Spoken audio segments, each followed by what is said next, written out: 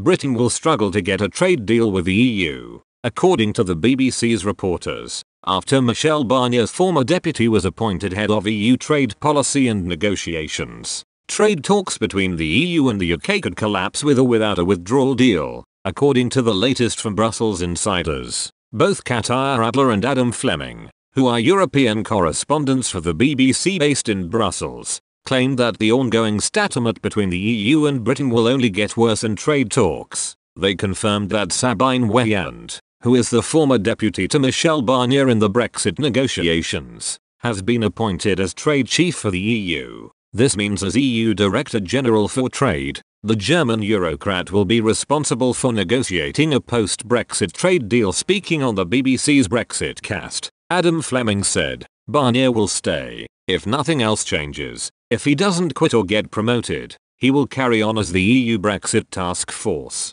But his deputy, Sabine, she has already gone to a different job. Sources claim that she will still be involved in last minute Brexit talks if she needs to be, and her new job is to be the head of EU trade so she will still be there regardless. On the other side of these talks, Ms. Weyand is described as the powerhouse and the real force behind Michel Barnier's work in the Brexit talks and could spell danger for future trade deals with the UK. The German official was earmarked for the top trade post when she was first assigned to Michel Barnier's Article 50 task force in 2016. Her departure is another sign the EU is moving on from the Brexit withdrawal agreement, which European leaders have repeatedly said is not open for renegotiation. Just this week, Ms. Weyand tore into Tory leadership contenders over their Brexit plans, branding hopes of a new free trading future for the UK an illusion. She told a business conference that Britain will struggle to survive outside the EU because it doesn't have the clout to fend for itself on the world stage.